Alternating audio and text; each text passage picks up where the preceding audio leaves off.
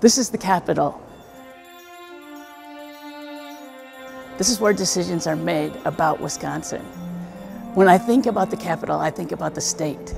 Two wings in the north and the south, two wings in the east and the west, but they all come together in the middle. And that's what we need to do here to make decisions that work for everybody, not just one part of the state, but the whole state. To put aside our differences, to build that common ground, to build those bridges, to find that common ground.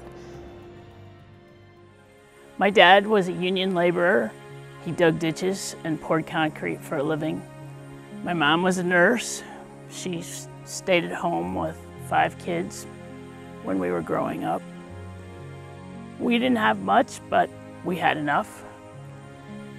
I knew what it was like to have to cut corners. And I wanted to go to college, but it was really hard. Eventually, I became a college professor, and after that, a full-time dairy farmer.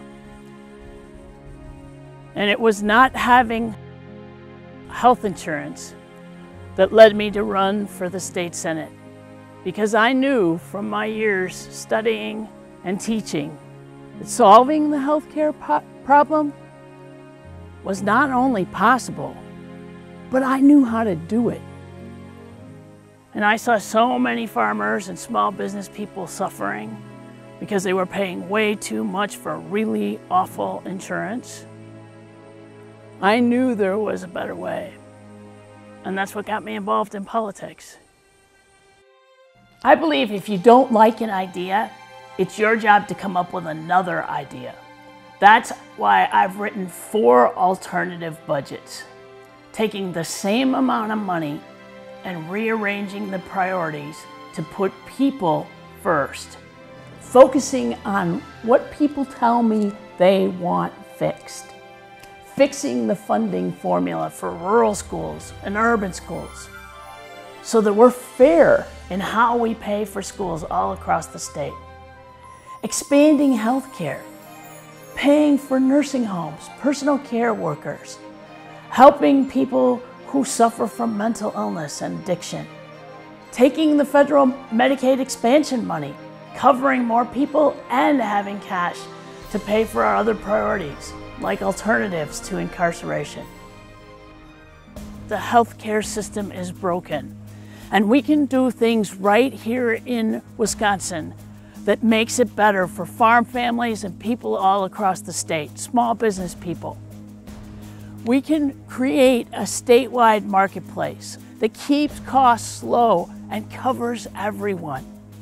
Wisconsin needs its own healthcare solution, and we need a leader that knows how to fix healthcare. What is it that brings us together? What are those shared values? What do we care about? People want government to work.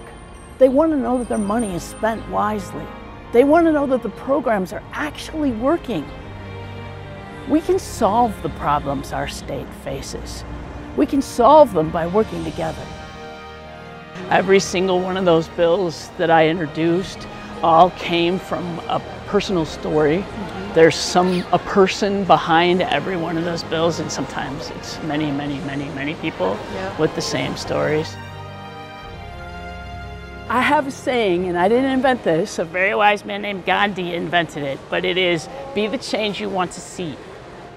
Because in the long run, you know, the only people who actually change the world are little groups of people getting together and it like making another circle, making another circle, making another circle.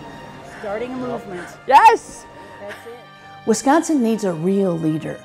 A leader who listens, who does their homework, and focuses on solving the problems people have in their daily lives.